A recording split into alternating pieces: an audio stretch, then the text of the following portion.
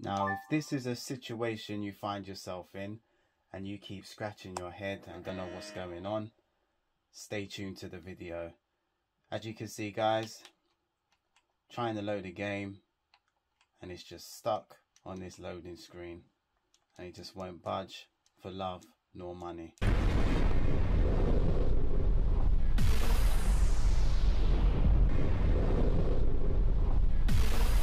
True Gamer here and I'm back with another episode.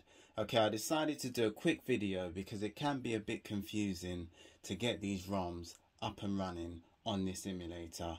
Now, the N64DD is an absolute relic in the gaming world. And what it was, it was a magnetic floppy disk peripheral for the Nintendo 64. So basically, it was an add-on like the Sega CD and it just gave the machine some more enhancements. So first thing you're going to need is the 64DD BIOS file. I will leave a link in the description so you can just download it to your computer and just get started straight away. So what you see on the screen now is the 64DD bin file.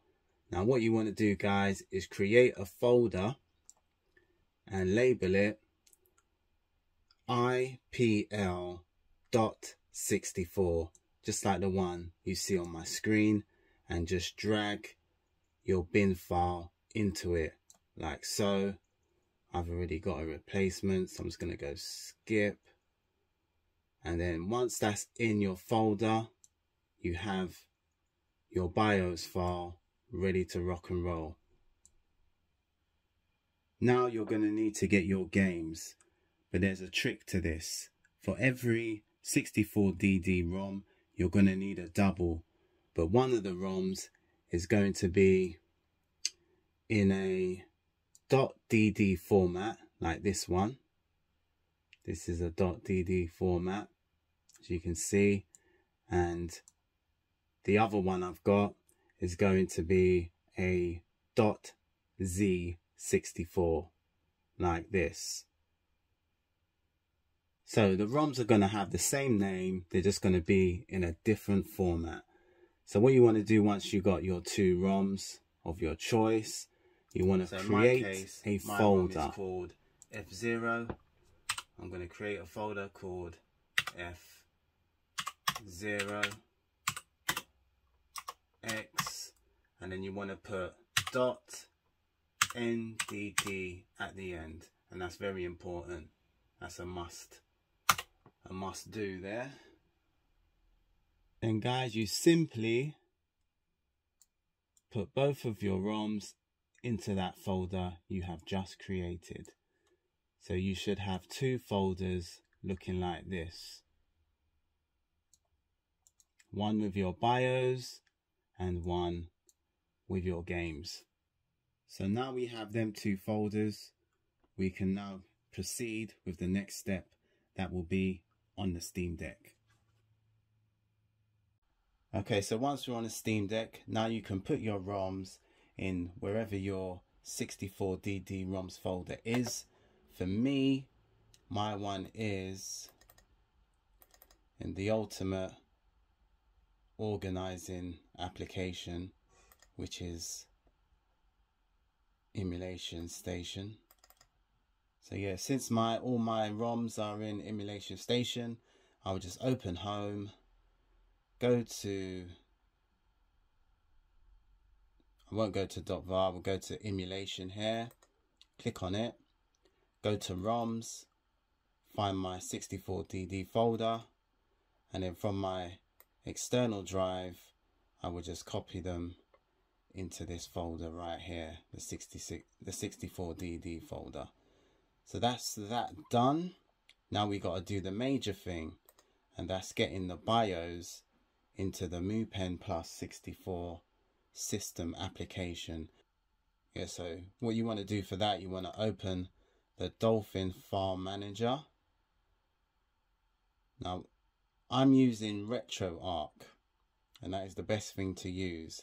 So I've got to find the MuPen Plus 64 emulator inside of my RetroArch. Now to do that, I'll go home, I'm going to var, then I'll hit the app.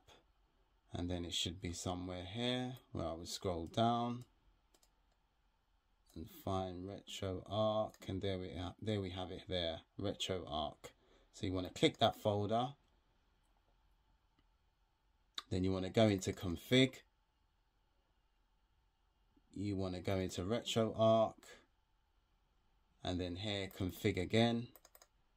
And you should find the MuPen plus 64 emulator. And there we have it. There you go. So you click here. Now with that file you want to drag it into the system folder. Now don't put the folder in. As you see here I've just dragged the single file. That's all you need to do the single file which says 64 dd underscore IPL bin. Just drag the single file in there and then that should be it on that section. Now we want to open RetroArch itself. So now we're in RetroArch. You want to load core, find the MuPen emulator. Just somewhere down here. There you go. That's the emulator. Click on it. Go to subsystems. From subsystems you want to load N64 disk drive. Find where your ROM is. Uh, yeah mine's here. ROMs 64 now I'm going to load the F-Zero X file so once you load it, click on it. It will bring you back to subsystems. Hit subsystems again. Go to launch 64. And now you should see your um, the .n64 file instead of the .ndd file. You click on that again. Now once you go back into subsystems, your game is ready for takeoff. So you click on it right now and it should solve your stuck on loading screen.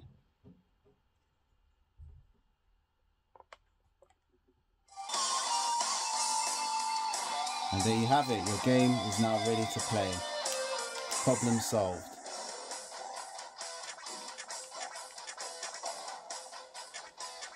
Let me just give you a quick glimpse of it running in all of its glory.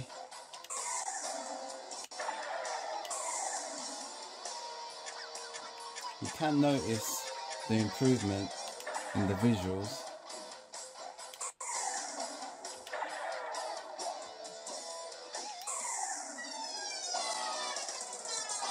some reason it wasn't letting me use my my controller I'm using the, the Steam Deck pad so yeah there you have it guys your emulator should be no longer stuck on that loading screen. Okay, if you like the video, give me a thumbs up. Even better, subscribe. Till next time, see ya.